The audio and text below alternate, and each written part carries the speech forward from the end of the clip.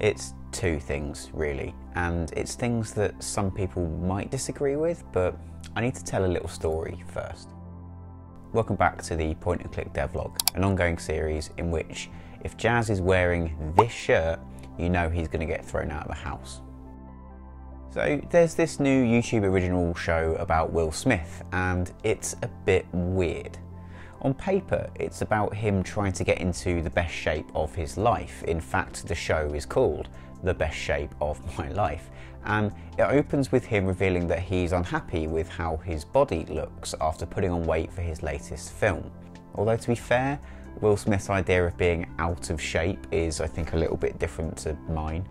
Anyway, you watch along while he works out and does some crazy stunts, and then for absolutely no reason, save for the fact that presumably the Dubai Tourist Board gave him a boatload of cash, Will goes to Dubai for a bit. So it's a weird show, but what's most weird about it is that it's not about Will losing weight at all, or about Dubai. Like, sure, he does lose weight and he does go to Dubai, but the whole show is actually a very thinly guised way to market his new autobiography. See, in every episode, Will, his family, and friends sit down and he reads out chapters of his book, each of which then thematically links back to what's going on in that episode. And by the end of the limited series, the weight loss stuff has almost completely taken a backseat to that book selling. And it works. Like, I got the book. I mean, in my defense, I had a bunch of Audible tokens to burn, but moreover, you know, I grew up with Will Smith. Like, Boom Shake the Room was one of the first singles I ever owned, believe it or not. The Fresh Prince of Bel Air was a tea time staple at my house, and when his movies were big, he was like the biggest movie star in the world. Sure, his career is a bit weird now compared to back then, but if you're on the hunt for, you know, a good audiobook to listen to in the gym or whilst you do chores or whatever, it's legitimately great. So, right, what does any of that have to do with game development? Uh, just very quickly, I should probably say here that if you want to support this channel, you can become a patron on Patreon, and for your troubles, you'll get access to uh, an exclusive bi-weekly Let's Play series in which I look at point and click games, old and new, from like a game design perspective to try and figure out what works, what doesn't, and what we can steal.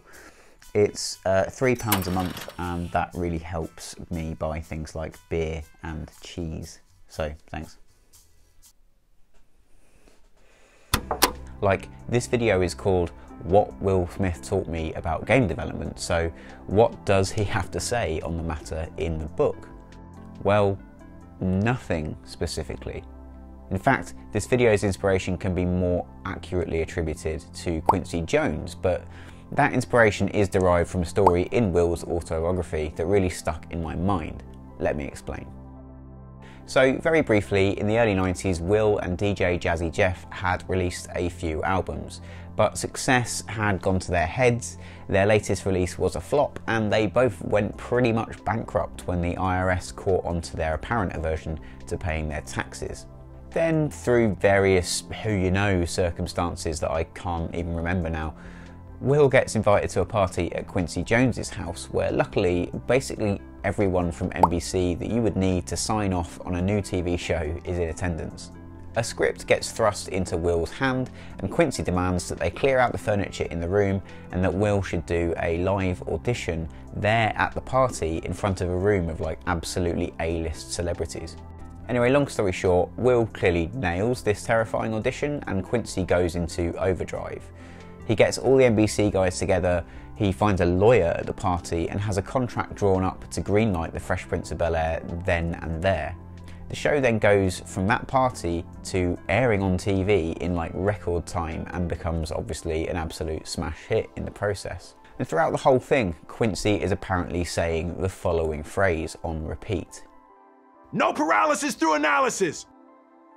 No paralysis through analysis, or in other words, don't overthink your projects to the point of destruction. And the more I've thought about it, the more I think no paralysis through analysis should become the indie game dev mantra.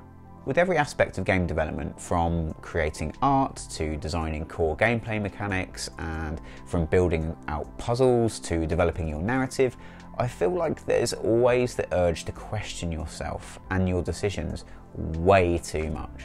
There's that saying that perfect is the enemy of good, and the more you look at anything, the further anything you've done will seem from perfect, so I think it can be poisonous to do too much thinking.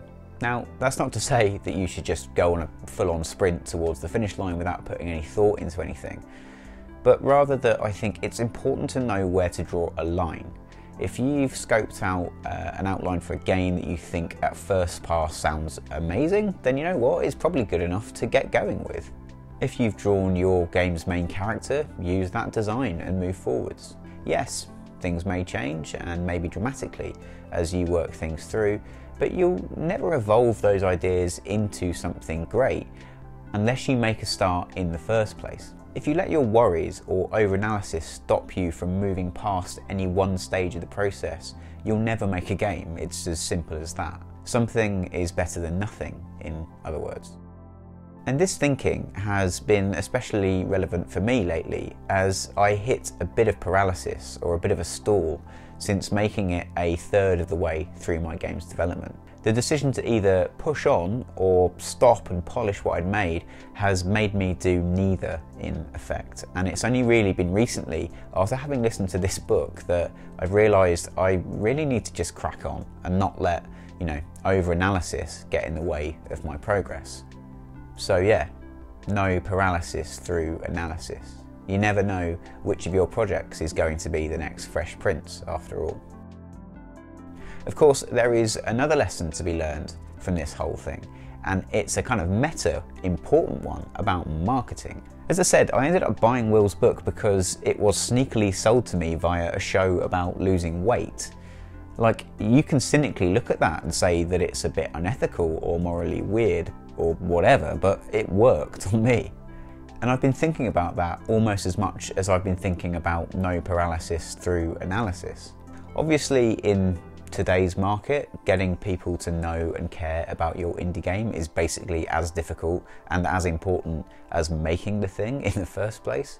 Guerrilla marketing, or marketing that uses tactics that you don't see coming, is probably the only real way to stand out as we move forwards and as indie gaming grows.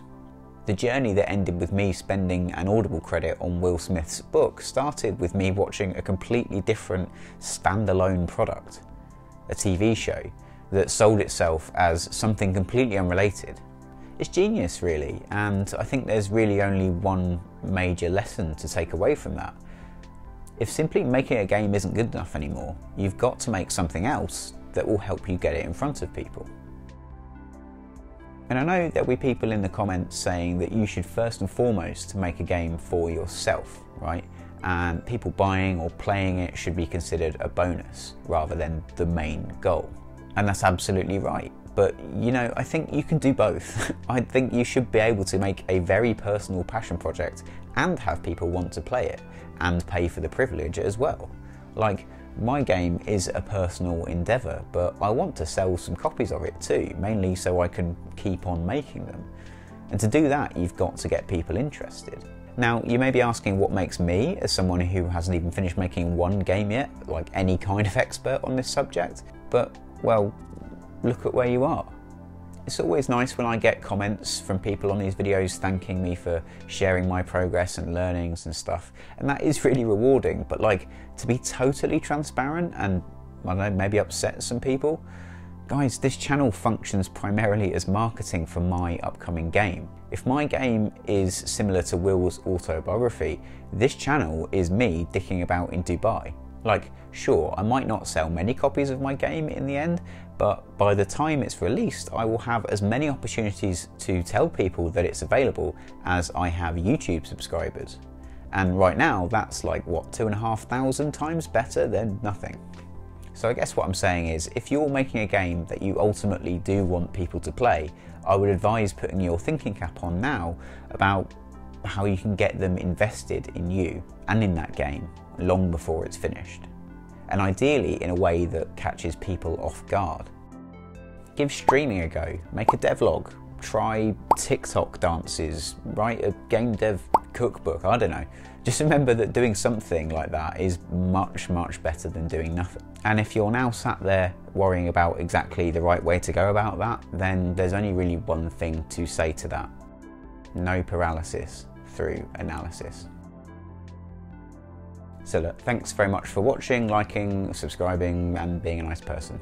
Remember, you're more than welcome to join the other devs in our community Discord server for help and support on everything from marketing to pixel art and everything in between. Hopefully, I'll see you there. If not, no worries. Maybe I'll see you in the next one. Bye.